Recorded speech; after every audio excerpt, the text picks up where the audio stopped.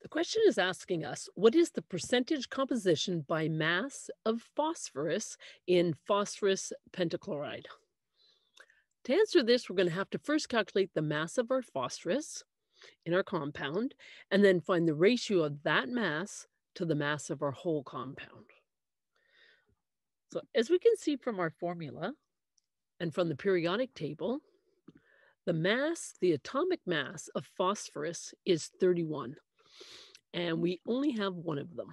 So 1 times 31, of course, gives us 31 atomic mass units of just the phosphorus. So now we have to calculate the mass of our phosphorus pentachloride.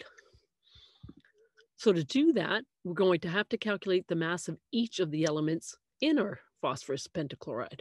So as we know, we've got one element here of phosphorus. And our chloride has an atomic mass of 35.5, and we have five of those. So we would have to multiply five times 35.5 to find the mass of the chloride. Adding that together gives us an atomic mass of 208.5 for our whole compound.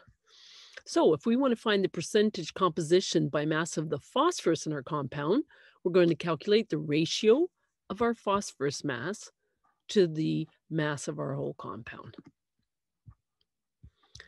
So doing that calculation, we would have 31 divided by 208.5, giving us 0.1486. Now we need to multiply that by 100 so we can get this answer as a percentage. And our final answer would be about 14.9% if we round it off to one decimal place.